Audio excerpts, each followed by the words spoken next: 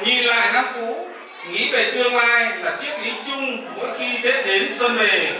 Buổi lễ tất niên là dịp để tất cả chúng ta cùng ngồi lại sau một năm vất vả, cùng chia sẻ với nhau những vui buồn trong hành trình một năm qua.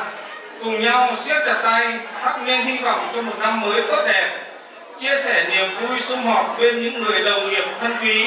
Đó chính là lý do của buổi tất niên hôm nay.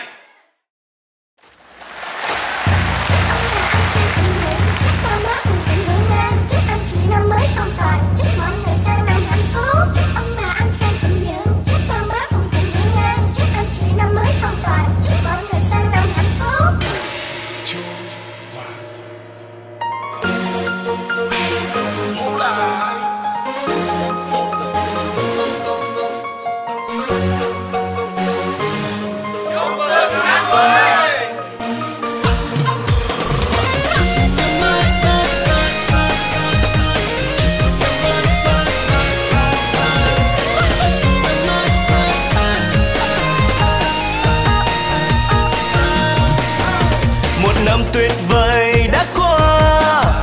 Người người lại cùng đón xuân đang về.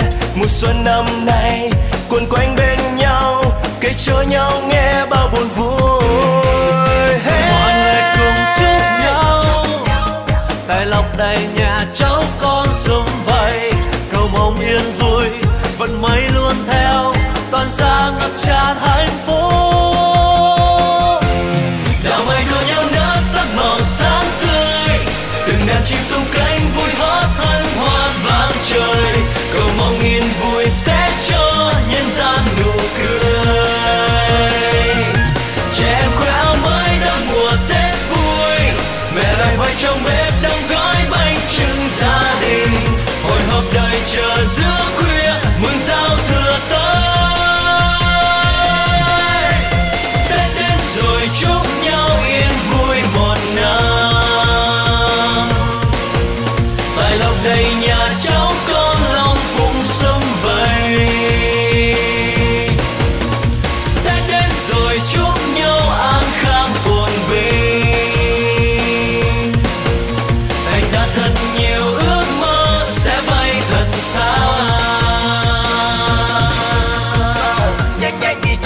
Gia đình tôi đón một năm mới muôn ngàn sắc xuân sắc xuân. Việc gần bên cha, gần bên mẹ, gần bên ông bà. Hạnh phúc đang bao la cho một năm mới đã qua. Hãy đến cùng tôi nào đến cùng tôi.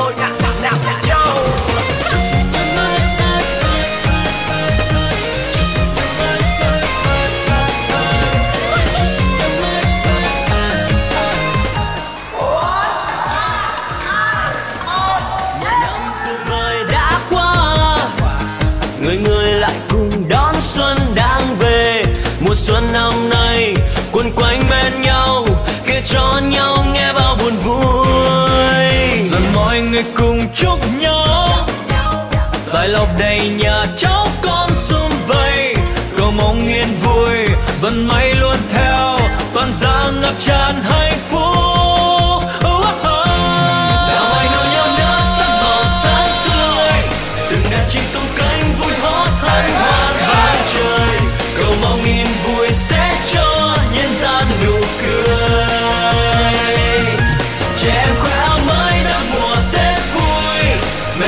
Trong bếp đông gói bánh trưng gia đình.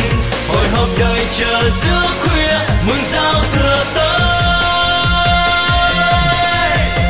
Tết đến rồi, chúc nhau yên vui một năm. Tài lộc đầy nhà cháu con long phụng sum vầy. Tết đến rồi, chúc nhau ăn thành đã thật nhiều ước mơ sẽ bay thật xa. Thành đã thật nhiều ước mơ sẽ bay thật xa.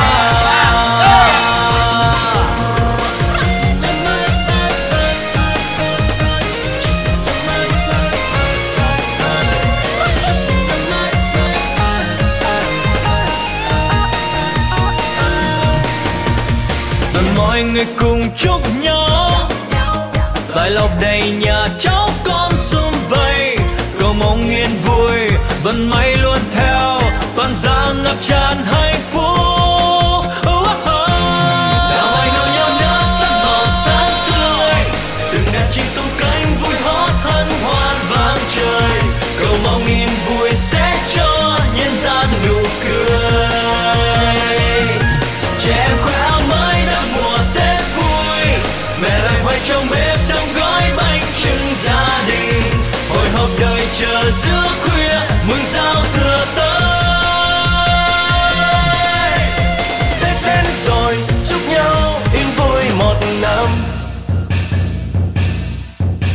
tài lộc đầy nhà cháu con long phụng sương vầy. Tết đến rồi chúc nhau an khang phồn vinh. Thành đạt thật nhiều ước mơ sẽ bay thật xa. Thành đạt thật nhiều ước mơ sẽ bay thật xa.